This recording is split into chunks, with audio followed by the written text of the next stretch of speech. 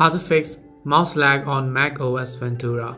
Hey everyone, welcome back to my channel. I am Bimal from app guide. In today's video i will show you how you can actually change and fix your mouse lag on mac os so make sure to watch the video till the end.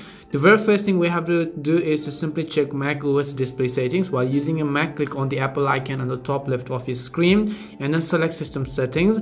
In case your settings look a bit different on your device then make sure that you're running the latest software update. Navigate to the display section of your settings. Here you want to make sure that default resolution is selected for your display. You may have to switch between resolution especially when using an external monitor. Your mouse will lag and your cursor will jump when using a high resolution option or the wrong one on your mac as well now after that you can also simply set the refresh rate option to the highest available because when you set it to 60 hertz or maybe the highest ones in your case as well it could be 120 or anywhere else you're going to have the smoothest resolution as well as the frame rate. The next thing you want to check is the mac os software update. Go to general and go to settings and then choose the option called software update. Proceed to download the install latest mac os update before restarting your mac.